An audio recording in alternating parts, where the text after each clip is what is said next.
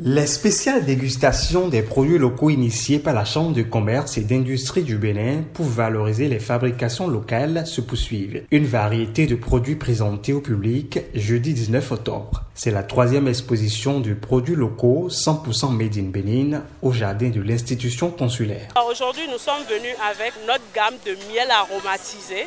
Nous avons six saveurs, la menthe poivrée, le basilic qui est bon pour la mémoire, la menthe poivrée est bonne pour la digestion.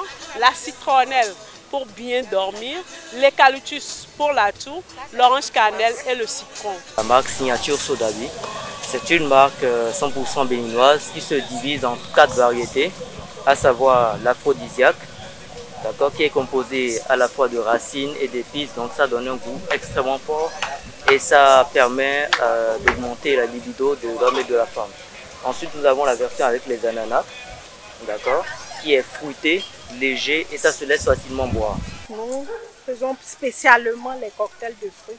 Là, vous avez l'ananas goyave, vous avez l'ananas pastèque menthe, vous avez l'ananas banane et d'autres cocktails qu'on n'a pas amenés. Il y a l'ananas orange menthe, l'ananas gingembre, la pastèque, l'orange, la goyave. C'est du jakbalo. C'est une boisson africaine qui est consommée par nos parents ça se voit dans le nord. Donc on peut prendre ça en apéro et en digestif aussi. Quand tu es fatigué, si tu prends ça, ça digère aussi. C'est pas alcoolisé, mais c'est comme du vin blanc. L'initiative prise par la Chambre de commerce et d'industrie du Bénin en collaboration avec Couleur d'Afrique entre dans le cadre du mois du consommant local. La CCI Bénin offre ainsi l'occasion à ses entrepreneurs de mieux se faire connaître à travers l'expo vente qui promeut leurs produits. La population déplacée massivement pour découvrir et déguster les produits locaux en exposition apprécie. C'est déjà très bien organisé et faut dire qu'ils ont fait fort parce qu'il y a beaucoup de variétés quand même. Je viens de commencer, mais j'apprécie déjà les premiers produits que je goûte là. C'est du local, hein. il n'y a rien d'autre. Donc, euh, c'est très bon, j'apprécie. C'est du fonio présenté sous plusieurs formes, au gras simple du wassa wassa. Donc j'ai voulu goûter, voir ce qu'on propose. Je suis pas déçue, c'est vraiment très euh, organisé d'une belle façon, c'est agréable euh, et c'est très bon aussi. Ici nous présentons des repas comme du pain, du pain du riz, du pain de manioc, des tartines, du biscuit au maïs. Et nous avons aussi des chocolatines, des gâteaux.